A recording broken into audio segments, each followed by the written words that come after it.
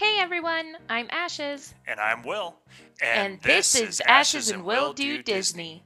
Each week, one of us will tell the other the history, facts, and stories behind the rides and attractions of Disney that have made special memories for generations. Keep in mind that Ashes and Will Do Disney is not affiliated with or employed by the Walt Disney Company, and our views and opinions do not reflect theirs. Now it's time to sit back, relax, and put on your ears because it's time for Ashes and Will Do Disney.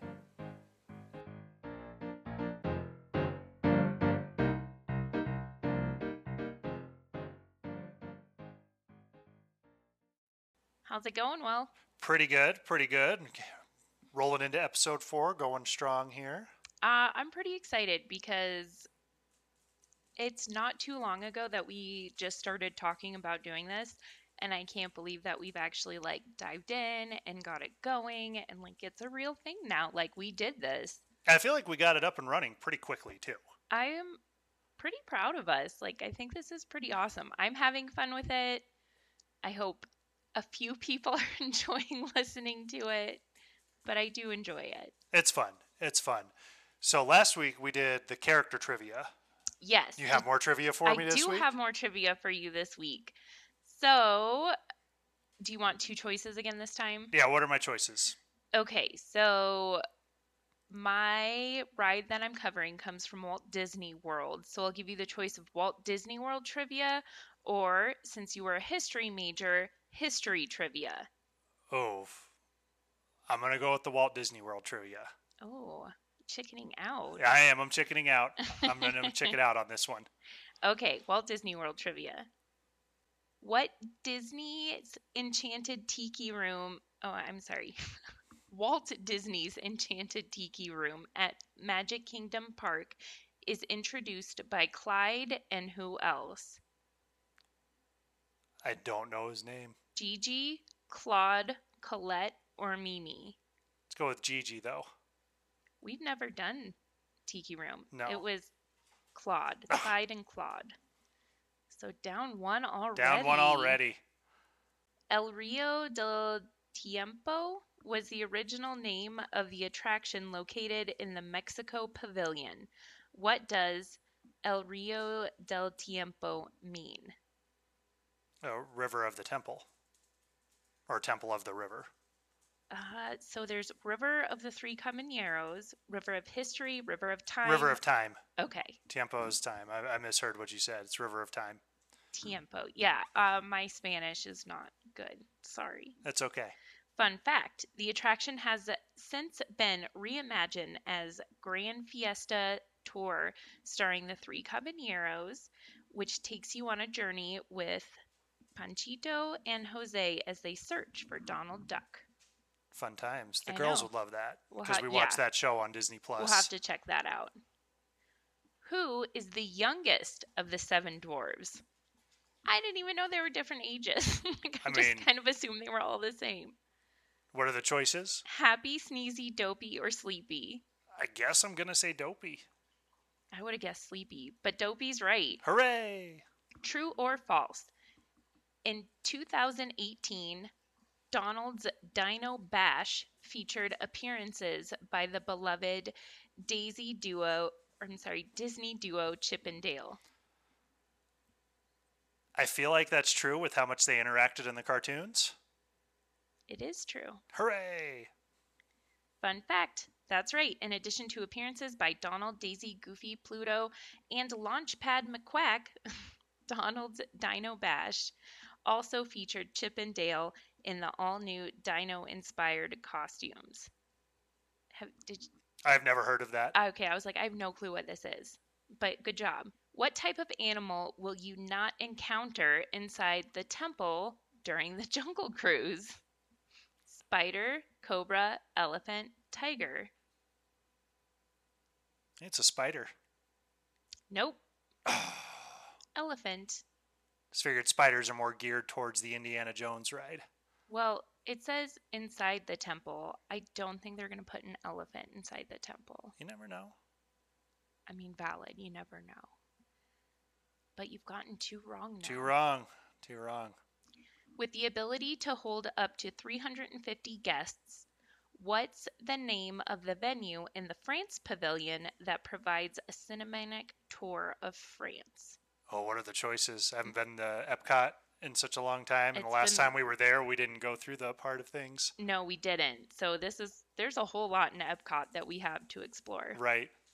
Magic Eye Theater, American Gardens Theater, Temple of Heaven, or Palais du Cinéma. The last one. Correct. Yes. You picked the only French one. the so one good French job. choice. Uh, fun fact the film Impressions de France is projected on five screens standing 27.5 feet tall by 21 feet wide, covering a field of vision of 200 degrees. Hmm, Kind of cool. that is cool. Which important Navi personality do you encounter on Navi River Journey? Navi Hunter, Navi Tour Guide, Navi Shaman of Songs, or Navi Clan Leader? I'm gonna say the Shaman of Songs. Correct. I've never been to that land, but that just sounds like it makes the most sense based on Yep. the theme of everything. Fun fact the Navi Shaman of Songs is capable of creating unique music through the natural energy of Pandora, the world of Avatar, which I'm super excited to go see now that we finally saw that movie. Now that we finally watched the movie, that took us a long time to watch. We've owned that movie for years, and just now watched it not that long ago on Disney Plus. Yeah, and I mean, we knew we'd love the movie, and we did. It's visually a very cool movie. Oh, the story was cool too. I really liked it. Okay, what character is not found in Mickey's PhilharMagic? Lumiere, Zazu, Woody, or Flounder? It's been a long time since we've seen. I haven't done PhilharMagic in a long time. Yeah. Like it may have been after we got married was the last time I saw that. That's kind of what I'm thinking. What were the choices again? Lumiere, Zazu, Woody, or Flounder? I'm gonna say Woody.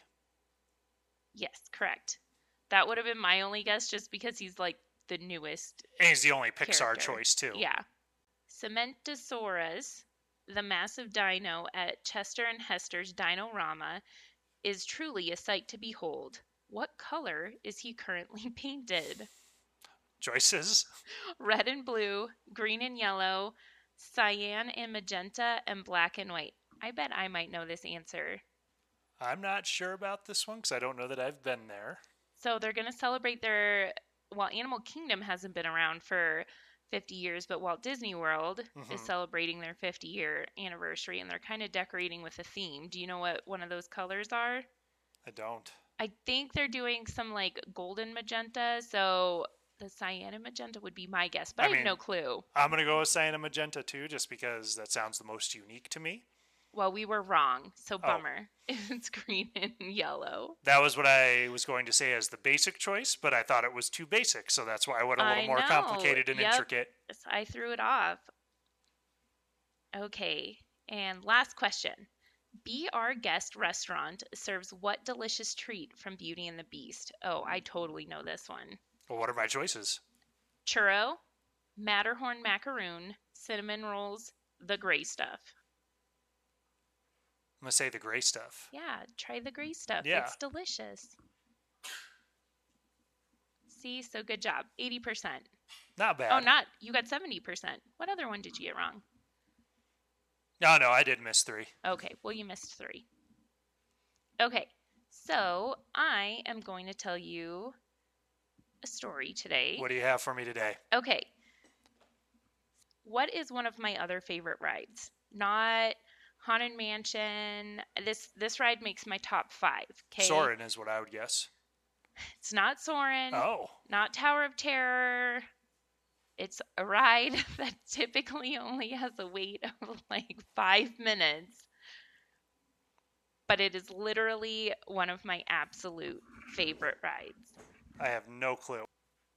Oh, well, I'm disappointed. Well, you named off like five rides, and you're still like, this is one of my favorite rides. It is one of my favorite rides. Soarin', I don't know. Well, Soren's up there, but okay. We rode that like 10 times on our honeymoon. I know. I like it. But our honeymoon was in Disneyland. Yes. I said this rides in Walt Disney World. So is Soarin'.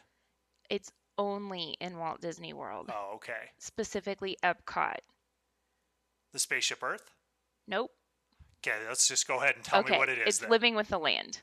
okay, yeah, that is a good one. I know, a little sad. Well, you know my lo- I even so living with the land sells those little plants that you can bring home, and I tried to bring one home and it totally died again. we talked about we your talked lack about of green it. thumb in hey, the last episode. it's not a lack of. There's a learning curve. I try real hard. I love plants.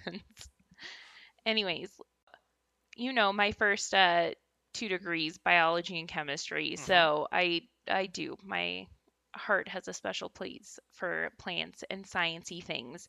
And of course, Epcot embodies that, and specifically Living with the Land does. Yep. Um, it's absolutely one of my favorites. There's never a long wait, which makes it even better. It's so a I- very relaxing ride too. It is. So I wanted to look into that one a bit. Sounds good. So, Living with the Land was originally known as Listen to the Land and debuted with Epcot Center on opening day on October 1st, 1982. The attraction closed for refurbishment in 1993 and reopened the same year with a new name, Living with the Land. So it is. It's a nice kind of it's a good ride for when you're like, cool, it's hot out, I need to sit for a few minutes. There's no wait over here. It's a 14 minute long, slow moving boat ride. It goes through three different biomes there's the tropical rainforest, the desert, and the prairie. So, it was originally developed as a suspended dark ride called Blueprints of Nature. So, that's one of those, you know, ones that didn't quite make it off the drawing board. So, this was going to be traveling underground to a carousel theater pre show, guests would be introduced to the landkeeper, the attraction's host. From there, the landkeeper would take guests on a hot air balloon trip through the four seasons and a series of simulated biomes located in greenhouses at the front of the pavilion. These plans would be scaled back when Kraft came aboard as a sponsor, and the attraction would become a boat ride. The greenhouse portions of the pavilion would become focused on showcasing new agricultural techniques, while the dark ride portion would become the simulated biome portion. So, kind of evolving and changing what this ride was to what it became. I mean, if it was originally going to be a hot air balloon ride, that's probably the closest you'd get me to a hot air balloon. Is one that's simulated. I don't know, even that might be a little bit hard. I could probably deal with it at least once. Okay. The dark ride portion of the attraction opens up with a scene of deciduous forest in the middle of a thunderstorm, illustrating how the forces that shape the land can appear destructive to us. The boat then sails through the artificial biomes representing a tropical rainforest, a desert, and the American prairie. Some of the audio animatronic figures in this section were originally created for the never built Magic Kingdom attraction, Western River Expedition. So this probably would have gone, I'm assuming, in um, Frontierland. Probably with that name. Yeah. But instead of opening Western River Expedition, they actually opened Pirates of the Caribbean instead. That's a good choice. So, probably, yeah, a good choice. The biome features sounds and lightning effects in addition to heat, wind, mist to simulate real conditions. The second part of the attraction takes place in the land's living laboratory, which showcases ideas about the future of agriculture. So, the whole point that they're trying to get through this is they want to make you believe that you can do it. Like that was what their goal in mind was opening this ride is they want people to think like you can do it, you can make a difference, you can grow these plants, you know, all that kind of stuff. It's supposed to be an inspirational ride. And that was kind of the idea behind Epcot as it was, was to give people information and kind of build this new way of living in society. Exactly. That was the original idea of Epcot. It has the very like quintessential Epcot vibe to it and it's a ride basically anybody can ride. hmm a couple fun facts about it. It has a tribute to 1982. So, at the start of the ride, you float on the boat through various scenes. One of the scenes is, scenes is a farm scene with a cute little house and fields of corn all at sunset. It's very pretty. Very pretty. If you look at the mailbox on the house, you'll see it says number 82 on it, and that's a nod to Epcot's opening, which happened in 1982. Right. Disney loves to throw in all those little details. I think Easter it's really eggs. fun. Yeah. So, at that farmhouse, they also have a dog. Do you know whose dog it is? I don't. It's Walt Disney's dog. Oh. Yeah. So he's the same dog that you see in scenes throughout the Carousel of Progress, and it's the same dog that's holding the keys in the Pirates of the Caribbean. That does make sense. Now that you've said it, I'm picturing the dog, Yep. and it is the same dog throughout. Yeah, I know. I didn't realize it. So it's because it was modeled after Walt Disney's very own dog. Well, that's nice. So Living with the Land also holds the world record for the most tomatoes produced from one single tree. That is the one thing that actually does stick out to me. I do remember that from the ride as the tomatoes. Yeah. So it's I think it's awesome. The tomatoes grown in Epcot Epcot broke the world record for the most tomatoes harvested from a plant within a year. 32,194 tomatoes were harvested between May 2005 and April 2006. The combined weight for the year weighed 1,151.84 pounds. It's a lot of tomatoes. That's a lot of tomatoes. Living with the Land is also notorious for all their little hidden Mickeys that they have um, throughout the ride. And where the you know where the like fish are Mhm. and like they've got some shrimp and stuff. They Right. have wire circles in there. Um, they often make the garden hose in the shape of a Mickey, kind of like when we went to Magic Kingdom and they did the rope. With the rope. mm-hmm. Do you So- know what the criteria for a hidden Mickey?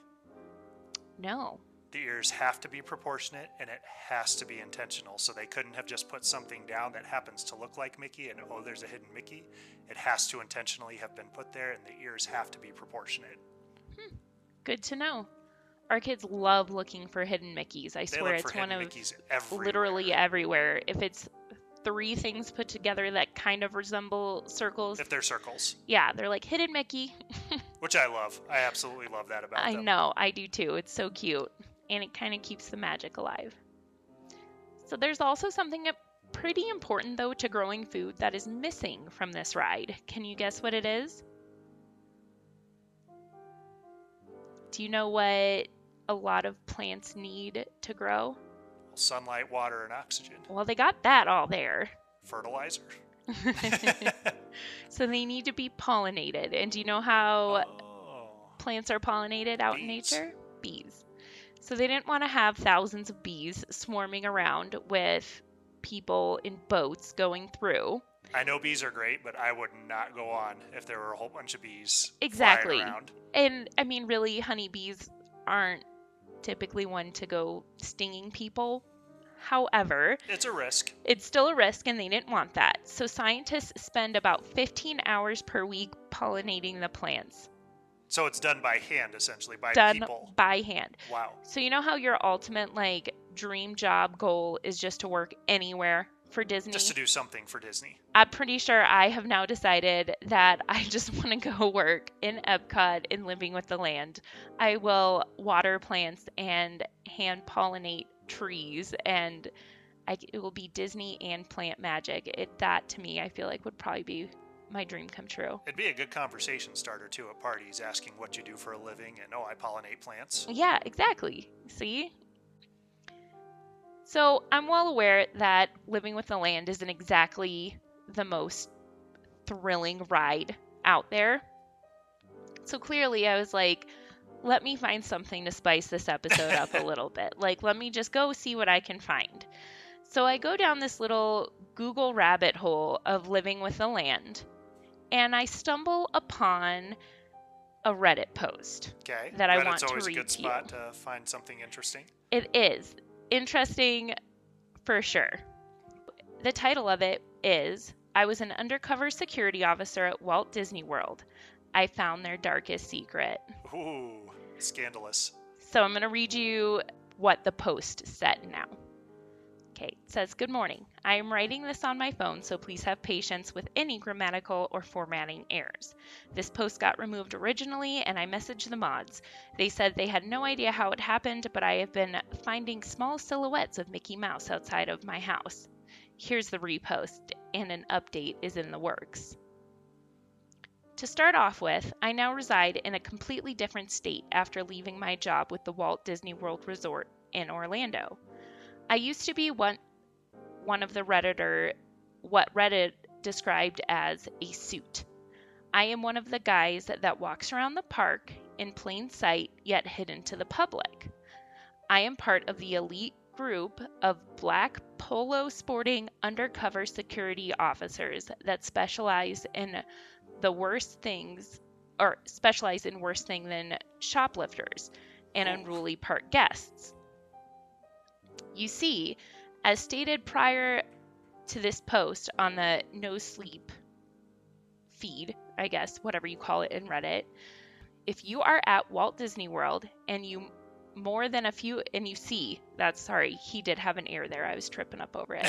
If you are at disney world and you see more than a few guys in one place wearing black polos then you are most likely in danger and you should leave the area immediately Wow, I feel like this isn't so undercover anymore now. I know. I was like, I want to story. pause and be like, did you have you ever heard of like undercover securities officers, black polos, Disney World? I mean, I haven't. So, I mean, I actually do appreciate him letting me know that if I see a bunch of them, I should probably get out of the area. I know. I'm like, is this true? Is this really a thing? Like, because yeah, now I feel like we're gonna go and I'm gonna be like, there's a guy in a black polo.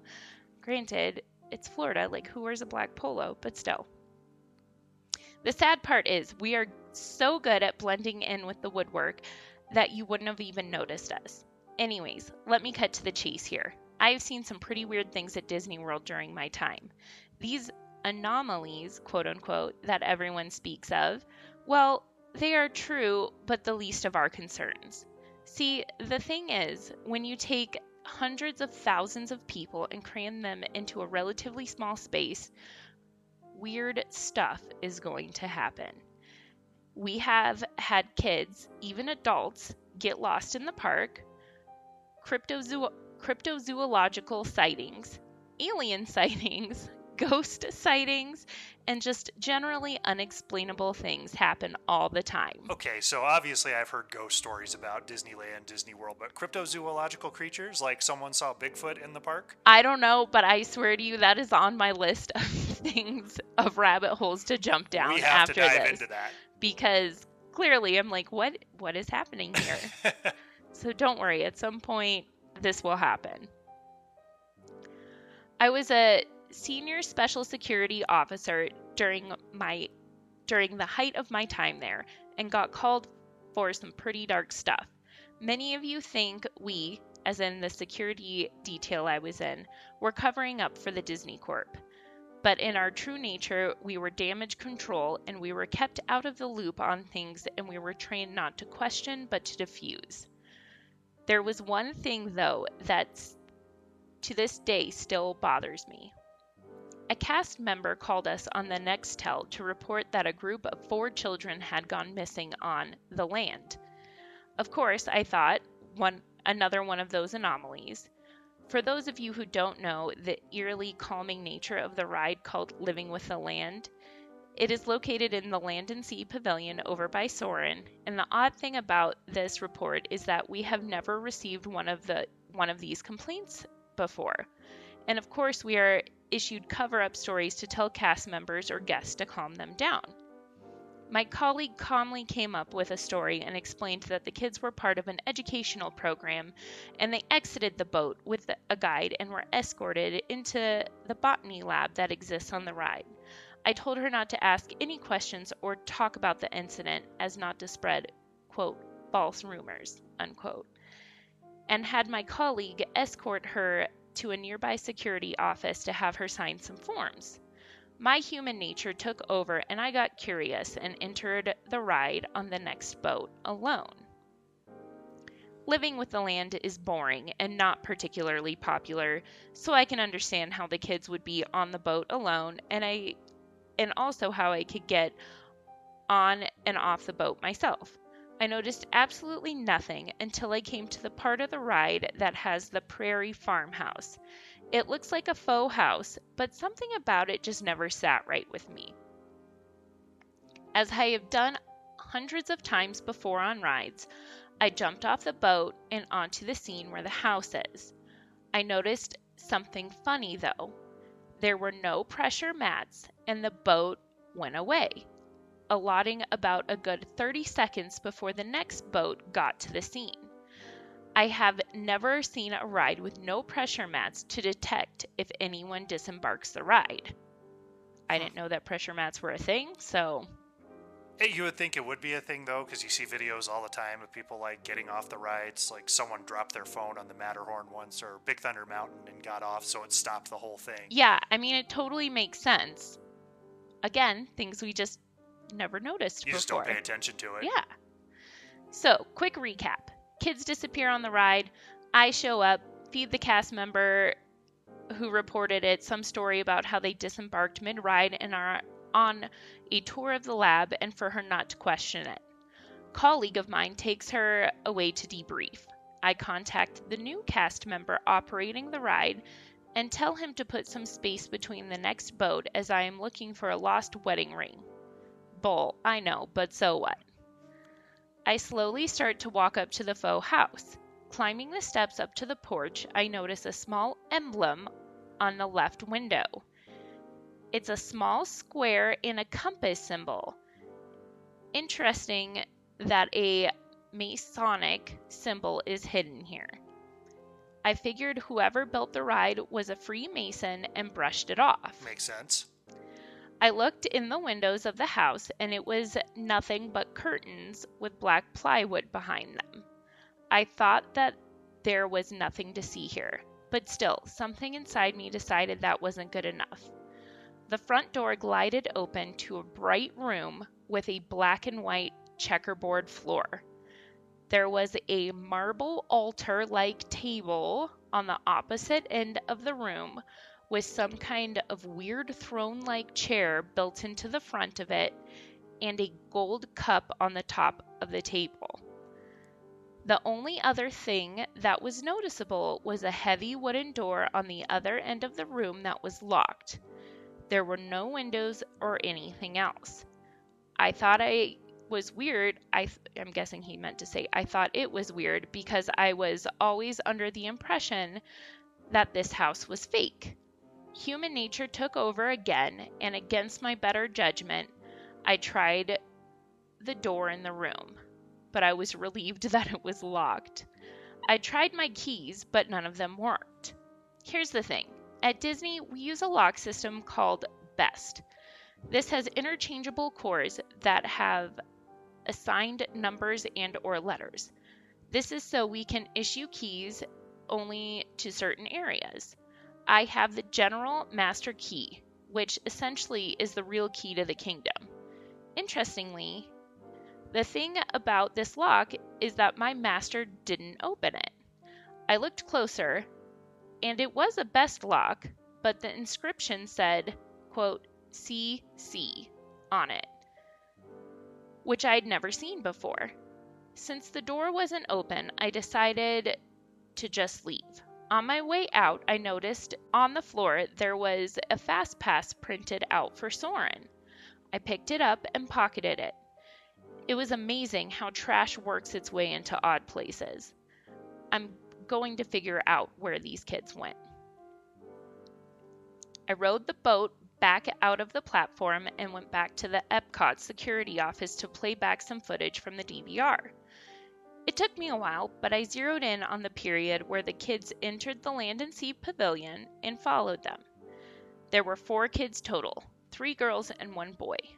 The girls' actions were almost robotic, and it sent a chill up my spine. They walked in a straight line through the pavilion, but what scared me was there was a man with them escorting them through the place. Oh no. I paused and looked closer when I realized the man was wearing a black polo, and khakis.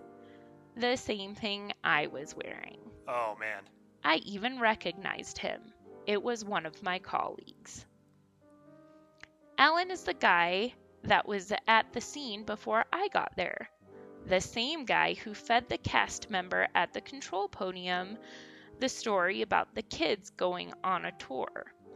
I thought maybe he did actually send them on the tour of the botanic lab and lost track of them until I hit play on the film. The boy was not walking in line, and I could tell he was giving Alan problems. He keeps venturing away and getting distracted by various things in the pavilion. The benefit of the doubt I gave Alan subsided when I saw the kids the kid go press the button for the fast pass on Soarin' and take the paper fast pass almost like a prize. Alan then tugged him away and stood back and observed as the kids walked to the living with the land. I saw them get on the boat. I saw them through the storm scene, through the rainforest scene, then through the desert scene. After the desert, I lost the boat on camera. The ride stops momentarily. You could see it on the other scenes, and once it resumes, I saw the boat again in the scene with the picture of the farmers. The boat was empty. I also saw Alan looking down off the observation deck, which explains how he responded so quickly. I switched the cameras back to live view and left that area. I haven't exactly been honest with you thus far. I know a lot of things of what Disney does and things that we respond to that a regular security officer wouldn't deal with. I have seen them experiment so many things, such as eugenics, pharmaceutical engineering, and even experimenting with gas. Hmm. Have you ever noticed that on both Spaceship Earth and the monorail that you get a strange calm feeling on those rides? Well, they are pumping low doses of laughing gas in those areas. Ever heard of Room Zero? They were wearing gas masks for a reason. Ever hear of gaskets? Well, they're not important right now. I would encourage you to research it, which I have not. I've not heard of that. I have never thought that what we did was okay by containing these dark secrets, but it paid well. I have seen them quickly inject some experimental drug on guests and throw them back out there. Our job was to monitor and contain them if things went haywire. I know that I am the bad guy, but this wasn't normal. This was procedural. First thing I did was go over to the room where we kept the keys. I looked through the logbooks for the core labeled CC. I found it, but it had no zone or specific location issued to the core, and the number of copies was marked as 1. This key was in our system, but my master key didn't open it. I grabbed the core key and a few Zone 1 cores. The core key is a specific key that, when inserted to the lock, will remove the core so that it can be replaced with another. I put this in my pocket and made a beeline for the Land and Sea Pavilion. I may be paranoid, but I swear I saw Alan following me in the shadows. I got to the ride and got to the house and back in front of the door to the Masonic room and locked the front door as I entered. I inserted the core key into the lock on the wooden door, removed the core, and inserted the Zone 1 core into the lock. Now my master key will open the door. And boy, did it. The door glided open. It was heavy and steel on the other side of the wood face.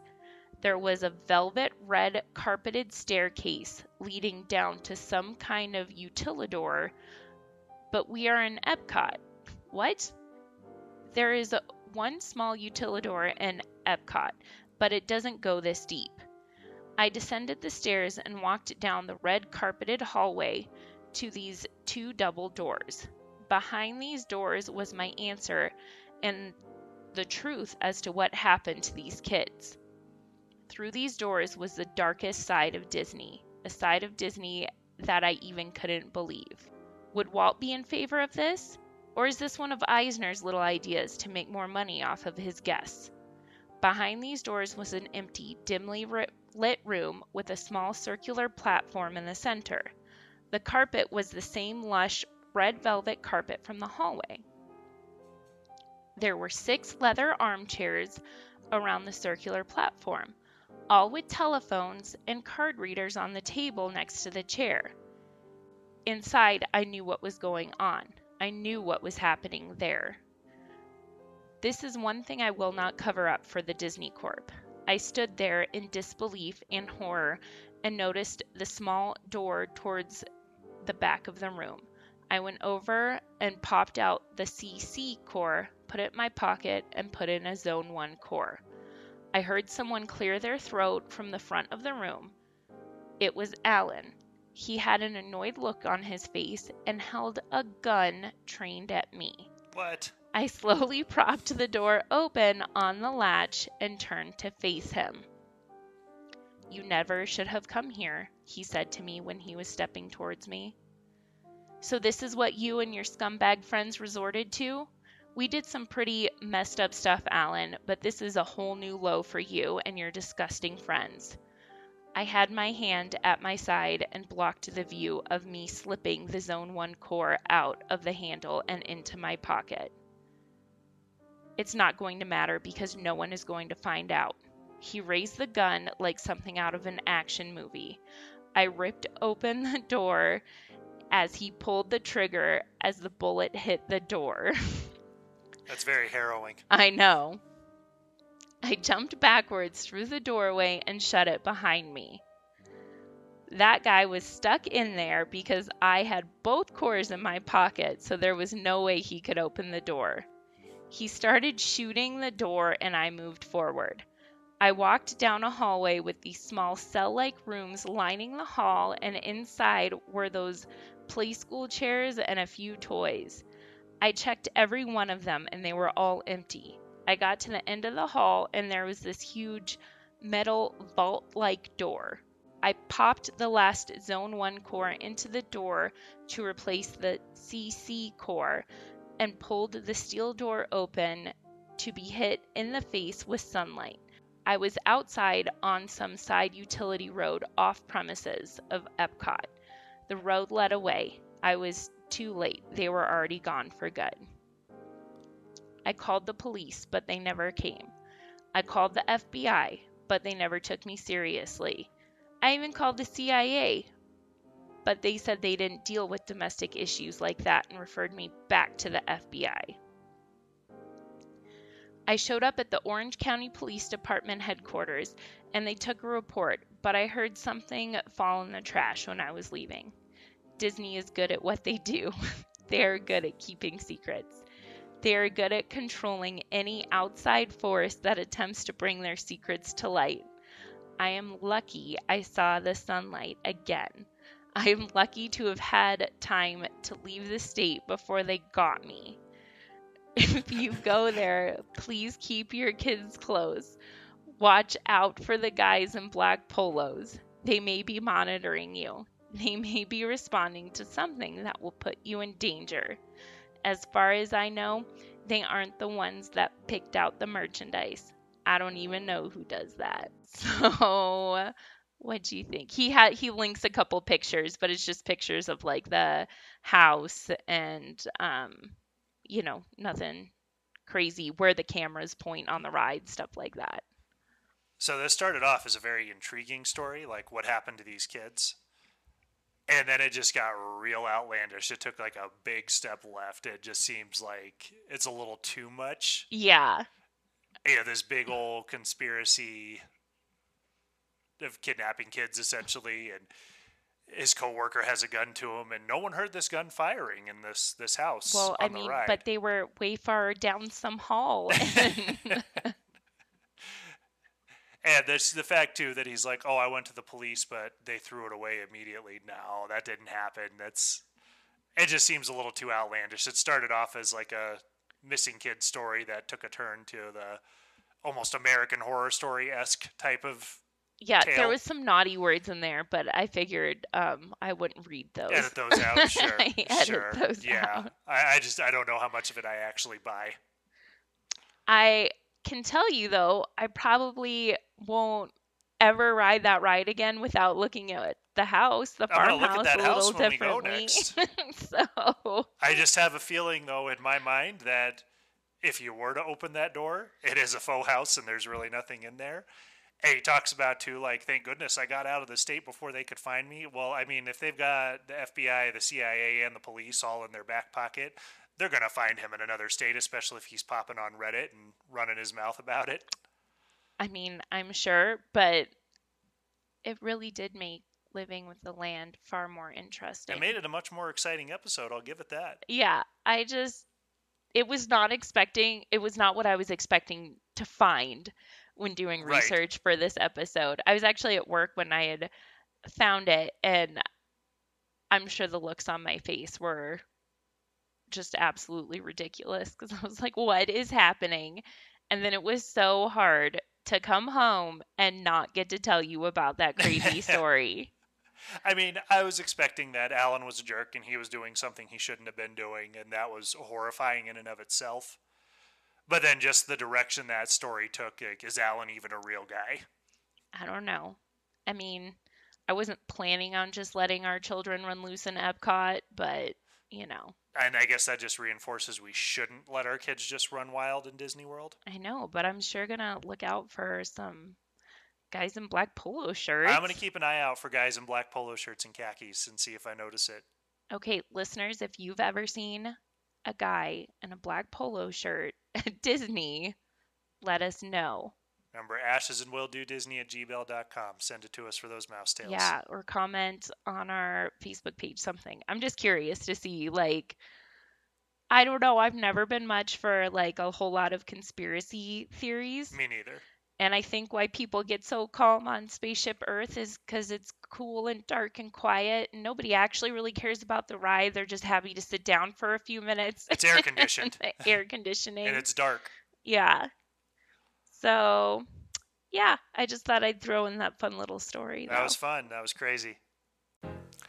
That's it for this week's episode of Ashes and Will Do Disney. Don't forget, we need your mouse tails. If you have a funny, weird, exciting, or just a favorite Disney memory, send it to ashesandwilldodisney at gmail.com so we can read them on the show. And don't forget to follow us on Facebook and Instagram at Ashes and Will Do Disney. This is a public group to follow. We're also on YouTube at Ashes and Will Do Disney. Please subscribe, rate, and review wherever you listen to your podcasts. Thank you so much for listening, and have a magical day.